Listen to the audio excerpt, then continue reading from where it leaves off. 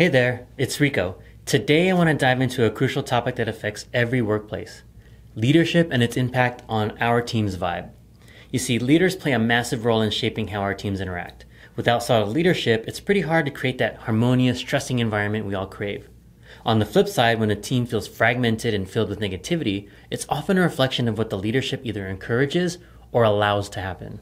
So if you find yourself at the helm of a team that's seen better days, whether you've been in charge for ages or you're just getting started, it's time to roll up your sleeves and figure out what's going on. Let's break it down into simpler terms. Here are four common issues that might be hiding in plain sight.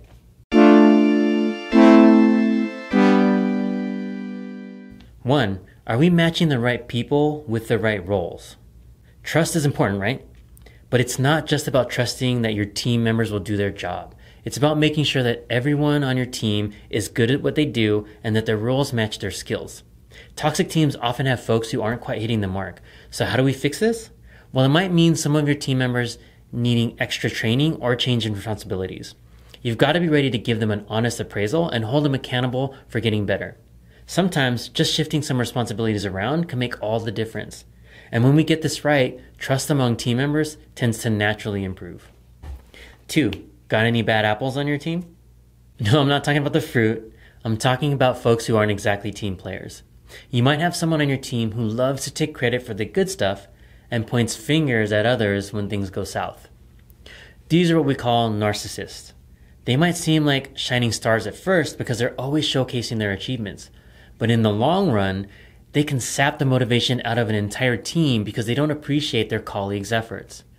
We gotta work with these folks, help them to see the value of playing nicely with others, and if necessary, consider moving them off the team if they don't get on board.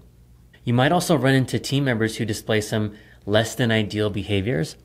That could range from showing prejudices to engaging in inappropriate actions like sexual harassment or even yelling at colleagues. When you see or hear about these negative interactions, you've got to act quickly. First, let the employee know that the behavior isn't acceptable, then get in touch with your HR business partner to figure out the next steps for documentation and potential removal of that behavior if it doesn't stop. Number three, what are we actually rewarding? Leadership isn't just about what you say, it's also about what you do and what you give kudos to. Often, when teams aren't getting along, there's a disconnect between what you're telling your team and what's happening in reality. For instance, you might be encouraging your team to speak up with critical feedback on strategic decisions, but if no one ever raises a concern in meetings, it sends a signal that criticism isn't really welcome. People are also paying attention to who gets praised, who gets promotions, and who gets those sweet opportunities. If you consistently brush off criticism or only promote those who agree with you, you're basically sending a message that contradicts what you're asking for. In a nutshell, if you're not seeing the behavior you want from your team, there's a good chance that you're inadvertently rewarding something else. Leadership is all about aligning your actions with your words and making sure you're rewarding the behaviors you actually want to see. And lastly, number four, are we fostering open communication? Communication is the glue that holds teams together. If team members aren't talking, sharing ideas, and addressing concerns, it can lead to misunderstandings and a lack of unity. So ask yourself are we creating an environment where team members feel comfortable speaking up? Are we actively encouraging discussions and providing a platform for voices to be heard? One way to promote open communication is by leading by example. Share your thoughts and concerns openly and demonstrate that feedback is not only welcome, but valued. Encourage team members to express their opinions and actively listen to what they have to say.